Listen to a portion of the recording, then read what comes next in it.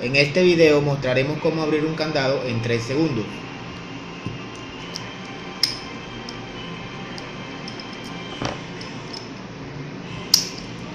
Como podemos observar el candado está totalmente cerrado.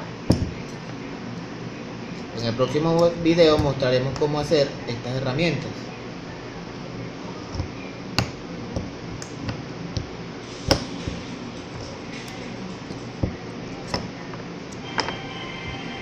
Listo.